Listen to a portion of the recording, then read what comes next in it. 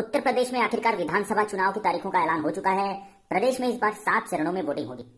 वोटों की गिनती 10 मार्च को की जाएगी। आजमगढ़ ज़िले में नौ विधानसभाएँ हैं और इन सभी सीटों पर सात मार्च को वोटिंग होगी। चलिए जान लेते हैं ये कौन सी नौ विधानसभाएँ हैं। अतरौलिया, गोपालपुर, मुबारकपुर, आजमगढ़, निजामाबाद फूलपुर पवई दीदारगंज लालगंज और मेहनगर।